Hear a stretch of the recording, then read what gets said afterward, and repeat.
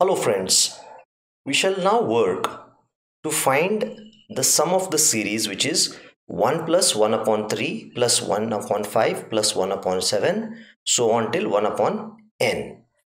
But this problem is a little different from what we have discussed before in the sense that it is saying continue to find the sum as long as the value of the term is greater than 0.001.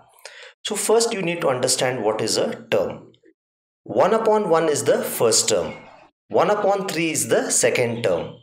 1 upon 5 is the third term. So as long as the value of this particular term, whatever is that term, is greater than 0.001, you need to continue to add the value of this term to the sum. That means you need to keep adding 1 by 3, 1 by 5, 1 by 7, whatever is the term to sum. So in order to get a clearer picture, take a look here. Suppose the term happens to be 1 upon 9. So it is approximately 0.1111 never ending. 1 upon 10 is 0.1. 1 upon 100 is 0.01. 1 upon 1000 is 0.001. 1 upon 1001 is 0.000990099 something. So based on this number, the last value where I should be finding the sum is 1 upon 9999. Okay, that is triple nine. The minute the denominator becomes 1001, I should not add the denominator to the sum. So based on this logic, let us understand what are the variables required. I need a variable called as sum to have the or store the sum of this particular series. The denominator is increasing by 2 every time whereas the numerator is constant. So I will have a variable i which represents the denominator.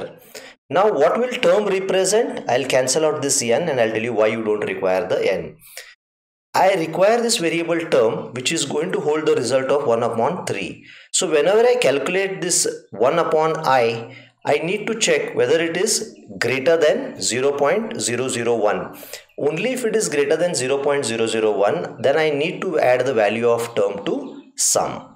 The reason I have cancelled out the variable n is I am not asking the user to enter the end value n. I am just trying to tell him that you should continue to add as long as the value of term is greater than 0.001. So initially 1 upon 1 is 1. So I have made the value of term as 1.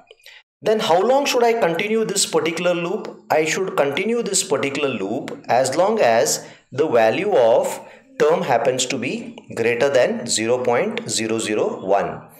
So if it is greater than 0.001 then next step what I need to do is I need to say sum is sum plus term. So initially sum is 0, 0 plus 1 is sum is going to be 1. So this is how it should look. Now what I am doing is after this I need to increase i by 2. So I am increasing i by 2 because from 1 upon 1 it should go to 1 upon 3. Then next what I am doing is I am saying calculating the value of term as 1 upon 3. 1 upon 3 is 0.33. 0.33 is still greater than 0.001.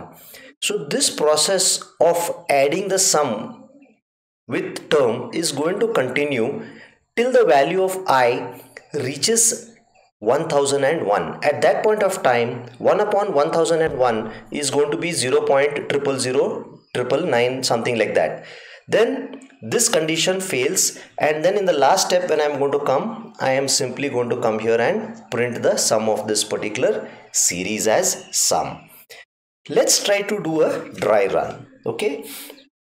Now this is your series all right initially term is 1 okay? So as long as term is greater than 0.001 I continue to add term to sum.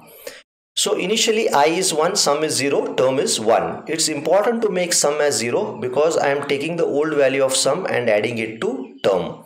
If you fail to make sum as 0 you are going to get garbage results because sum will take a garbage value. Now let's go to the next step so sum is 0 term is 1 i is also 1 at this point i is also 1 then since 1 is greater than this one sum is equal to 0 plus 1 so sum is 1 all right the value of i has now increased to 3 okay. And what is the value of term? Term is 1 upon 3 is 0.33 then in the next step 1 0.33 is still greater than 0.001 so i say sum is 1 plus 0.33 so it becomes 1.33 then after that i value is calculated. I has now become 5 term is 1 upon 5 which is 0.2 then 0.2 is greater than 0.001 then sum is 1.33 plus 0.2 which is 1.53 i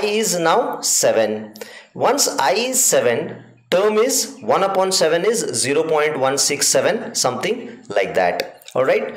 So what happens now is 0.167 plus 1.53 so it will be something like 1.70 something. So this particular process of adding the term to sum will continue. At certain point i will end up becoming let us say i ends up becoming triple nine 1 upon triple nine is still not going to, is still going to be greater than 0.001 so it's going to add sum to that value of term. Then i becomes 1001 when i becomes 1001 1 upon i or 1 upon 1001 is going to be 0 0.000 triple nine okay? Something like this. 0 0.000 triple nine some 0099 so this condition fails. Then i'm going to print the sum at this particular stage. I hope this logic is clear to you that we have used instead of n we have used the value of the individual term as the condition to add the or find the sum of the series.